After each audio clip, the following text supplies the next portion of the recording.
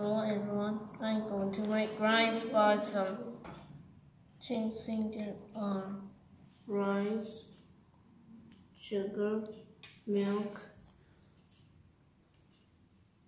cashew nuts and raisins, ghee, cardamom powder, water.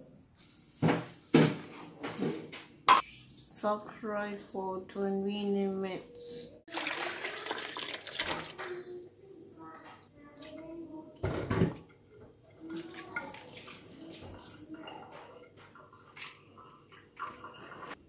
Wash the rice.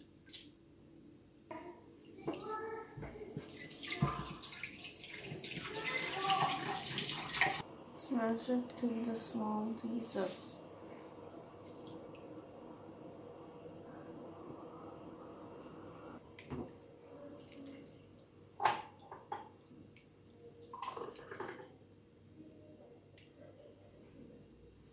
Drain the rice. Put rice to the cooker. Add the milk. Add water. Add sugar. Add cardamom powder mix it. Close the lid. Switch on the stove. Just low flame. Cook for 30 minutes. The lid.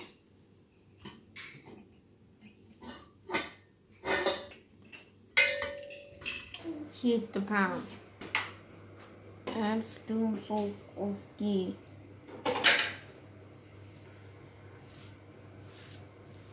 Add cashew nuts and raisins. Add it to the payasam.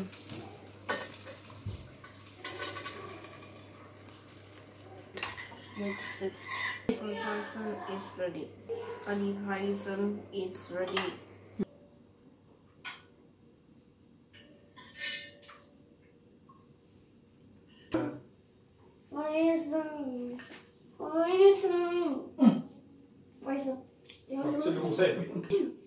It's yummy.